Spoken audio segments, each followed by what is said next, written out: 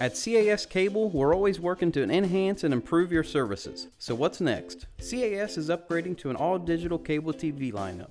This upgrade is to facilitate better and faster internet service and improve the quality of our cable TV service. If your TV is currently hooked up to an HD cable box provided by CAS, then you're all set for the digital transition.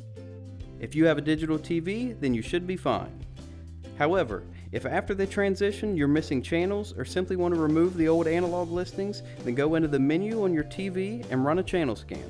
If you have a non-digital TV, you'll either need to purchase a QAM-compatible digital converter box from a retailer such as Walmart or Amazon, or lease a digital box through CAS.